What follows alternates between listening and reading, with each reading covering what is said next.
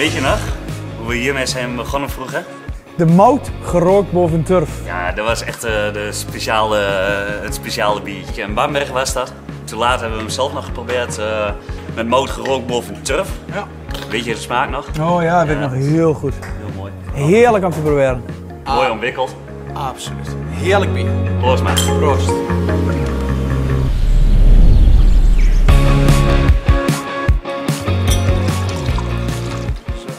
Eigen eh, ding zijn gaan vormen Ja, ja, bij ja. werkzaamheden. ja precies. Nou, ja, jij kent van Dirk denk ik wel van Ja, vroeger. ja veel eh proeverijtjes, experimenten. Ja, proefbrowsertjes wat soms wel een beetje uit de hand liep. Ja, precies. Positief. Ja, positief. Ja. ja, dat vindt hij ook heel leuk om te doen. Ja, Bart is wel echt meer eh, eh, ja, iets meer commercieel gaan doen. Ja. Hij brouwt nog wel. Ja. Ja, hij helpt nou ook wel veel in de verkoop. Ja. Ook heel belangrijk. Dus eh, Een commerciële man. ja, eigenlijk wel. Man met de praatjes eigenlijk. Ja, ja. ja. Dankjewel. Dat klopt wel. Eh, proost. Het mooie aan deze plek is, is dat het natuurlijk ook een hele rijke geschiedenis heeft.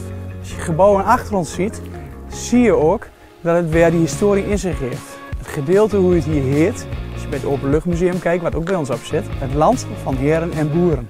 Wij maken al onze speciaalbieren volgens het Duitse Reinheitsgebot. Speciaalbieren zoals ik zei. Hoe maken wij nu nieuwe recepten? Dat doen wij door het aanpassen van alle grondstoffen die we hebben. Uiteraard is het water altijd hetzelfde, maar de mouten en de hoppen en zelfs de gist kunnen we uiteraard aanpassen. En zo krijg je altijd hele unieke smaak. Voor ons was eh, de GA-separette heel belangrijk. Tevens konden wij ervoor zorgen dat bijvoorbeeld ons Weizenbier sneller helder werd en stabieler werd. Hier heb ik twee verschillende soorten, lijkt het, maar is eigenlijk hetzelfde bier. Dit is van voor het separaten, dit is van na het separaten. Als laatste vonden wij het ook super dat we deze separator gewoon konden verplaatsen.